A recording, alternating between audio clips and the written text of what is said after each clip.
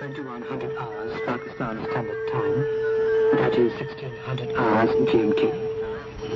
This is Radio Pakistan calling listeners in the Middle East in the frequencies of 21,755, 21,494 and 17,640 kilohertz and listeners in East Africa in the frequencies of 21,454 and 17,655 kilohertz in the general overseas service. In half a minute from now, you can hear the news at slow speed, read by a small-time Chowdhury.